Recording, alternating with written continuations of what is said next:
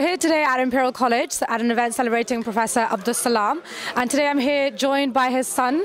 Um, tell if you could just tell us a little bit about him as a person. What did you see in him as a role model? What do you think he did as a as a professor? Well, I think you've got two aspects of his life. You've got the science, and which everybody remembers him for, and is what we've talked about today. But what a lot of people perhaps don't focus on as much is the humanitarian work.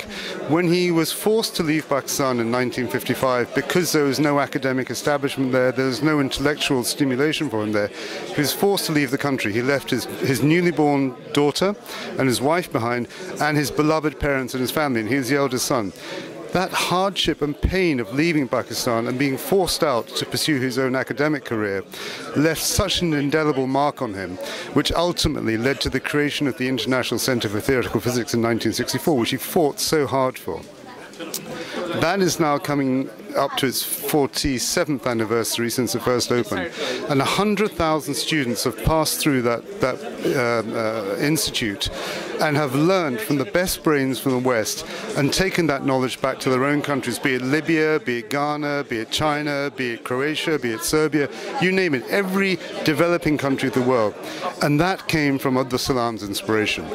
What greater legacy could he have than, than that? Where do you see his legacy going next in terms of the future and keeping on and holding on to that memory of Professor Abdus Salam? Nigel Calder gave a, a, great speech, as Michael Duff talked about, at the, at, at the anniversary of the first death of my father when the centre was renamed.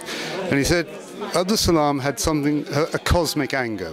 Not only did he have a very quick, short temper, but he was driven by the absolute injustice of the world, with the difference between the developed countries and developing countries, and how the developed countries suppressed the development in the developing countries. That is a challenge we haven't conquered yet, and it's still an ignominy on the face of the humanity that we've not been able to deal with and we have to deal with. So that's the continuing work we have to do, and that comes from education, it comes from science and technology. Absolutely. Thank you very much for joining us. vemos.